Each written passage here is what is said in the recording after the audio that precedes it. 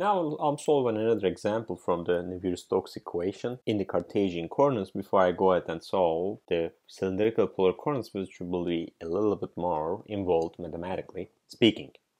Okay, so what's going on over here is I have, you can see over here that I have an inclined surface and I have a constant height flow like this. It's a liquid film. It's flowing down over here, okay? So my goal is to find the velocity profile over here. What will happen? In, is it going to be like parabolic like we did before? Is it going to be like that, like boundary layer? So we'll find that out in this particular segment. Let's look at a few uh, observations that I have and limitations and assumptions that I need. One thing is I'm going to call this laminar. Okay, so if I have like a flow like this, okay, this will be my streamline. It's not going to go up and down or in or out of the Let's define my coordinate axis. Can you define your coordinates like this? Because you don't want to think about it, you want to just go ahead and write it the way that we've been writing traditionally. I mean, you can write it and you will get the same answer as the more uh, shortcut version, but I don't like that, okay? My recommendation to you is to align the flow with one of the coordinate axes. I don't care which one. It can be x, it can be y, it can be z or it can be theta, it can be r if I'm using cylindrical polar coordinates, okay? So in this case, you're doing yourself, actually you're making your life harder by having this type of coordinate axis. What I'm gonna do instead is I'm gonna write it this way. This will be my x, this will be my y. Can you can I do it?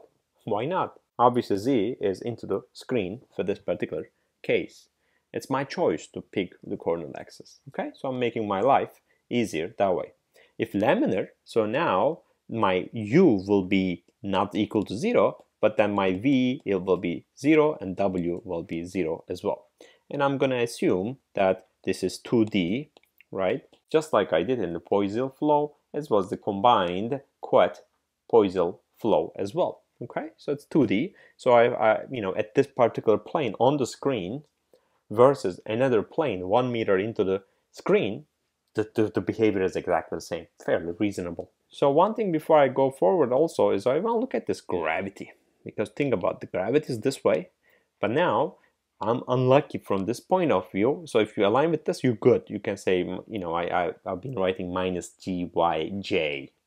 So right now, let me analyze this before I go forward because to me actually these um, you know kind of focusing on these kind of things help me to answer the question because once I write the Navier-Stokes equation there's a high possibility I will freak out as a student because it's complex there's a time limitation etc okay? So I'm making my myself my life easier this way. So let's look at this then. G okay. So from trigonometry you well should know this right? This will be theta and this component then will be gx this will be g y, right? So if I write it, then um, g vector will be g times sine theta in the i direction minus g times cosine theta in the basically in the negative j direction as well, right? So that's what I have, okay? So this is a good observation. After you do this, and then I'll, I'll proceed with writing my conservation of mass equation. But let's also assume that um, as this is a liquid film, this is going to be constant density. So I will be able to write myself the easier version of the conservation of mass, which is this. Del y plus del w del z is equal to 0. And you can see from here and here, the second and the third terms vanish. So I get myself del u del x is equal to 0. And I will also write myself a note that del square u del x square is equal to 0 as well. We discussed this in the previous segments. I'm taking a shortcut over here. Okay, the second equation is going to be the Navier-Stokes equation in the direction of the flow. And the direction of the flow is here, so that will be x direction. So I'm going to write my NS, Navier-Stokes, in x direction. So rho del u del t plus u del u del x plus v del u del y plus w del u del z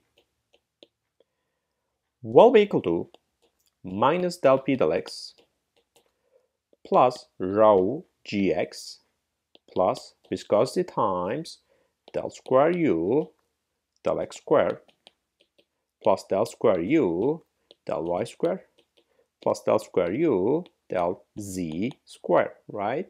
And then I will look at my um, special cases and see what will happen over here. So this will vanish because this is steady, okay?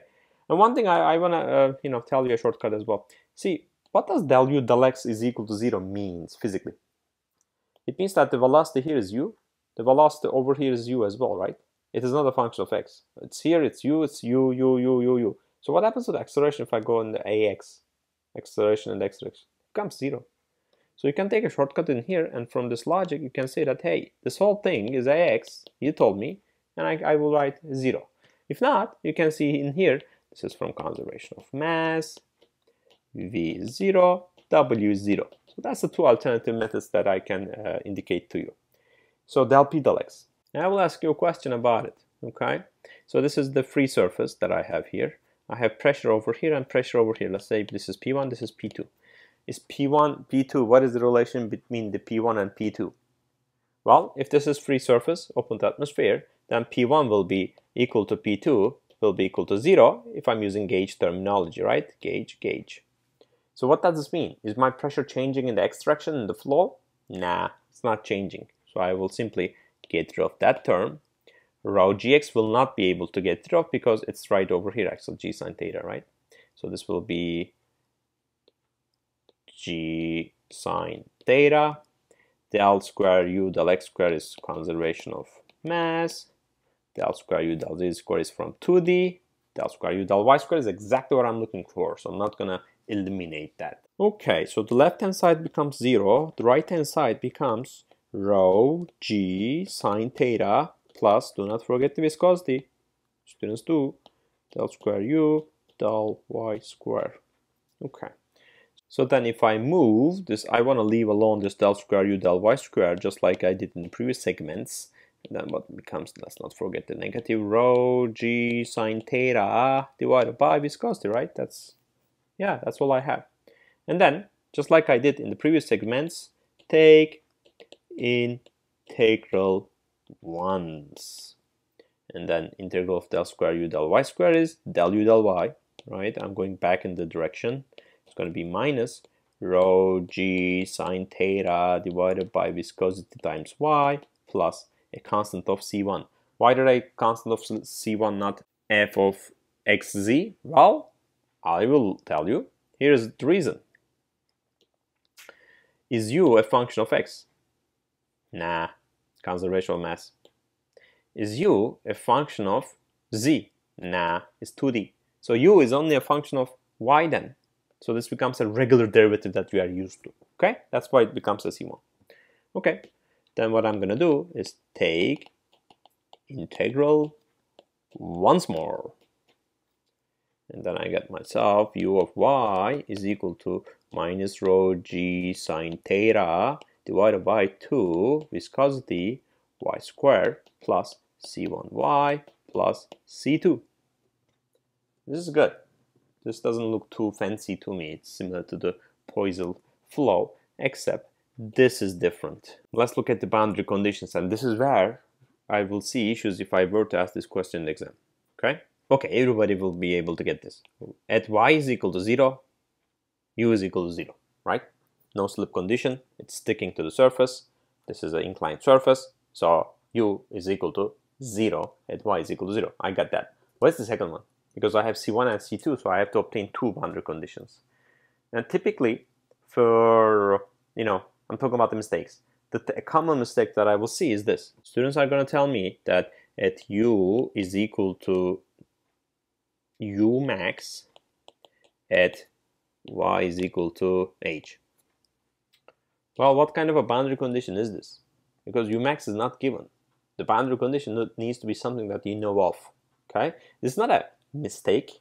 Okay, you can actually rephrase this because if the function is maximum there, the derivative, the first derivative with respect to y needs to be zero. So that will be fine. That will give me the right answer that I want, but you can't really take advantage of this. Another alternative, the right answer will be, well, we talked about this in segment 12.1 when I was talking about the boundary conditions, as air cannot sustain shear stress and the shear stress needs to be continuous at that interface, my shear stress is going to be zero. Okay, so let's write the first one at y is equal to zero, u is equal to zero, at y is equal to h. Two options. If you say u max, then what you're going to get is du dy will be zero. That's the definition of a maximum value from mathematics. Or two, second option is you say to me that hey, shear stress is zero because I know as gas a negligible shear stress value, I'm gonna just simply go ahead and say they are zero, right? And from here, viscosity times du dy is equal to zero. And you can see either viscosity is zero, which is not, that's the whole point of this module. So du dy is zero. So it's the same thing, okay? So, okay, so then I have two equations, two unknowns. So let's just do it. Let's use the first one, and I get zero is equal to minus rho g sine theta divided by 2 nu 0 square plus c1 times 0 plus c2. Well, you see from here that I got my c2 0, right? Good. Okay, from the second equation, then I need to use the derivative of this function with respect to y, but along the way I already have it, okay? You see? I already have it, it's this. So that's what I'm gonna write. So I'm gonna write 0 will be equal to minus rho g sine theta divided by viscosity times h plus c1. So you, you can see from here that c1 needs to be rho g sine theta divided by viscosity times h. Okay? u of y then will be rho g sine theta divided by 2 nu. I'm just taking in parentheses and saving some time for all of us. 2hy minus y square. Okay, so now I can box this up and call it a day.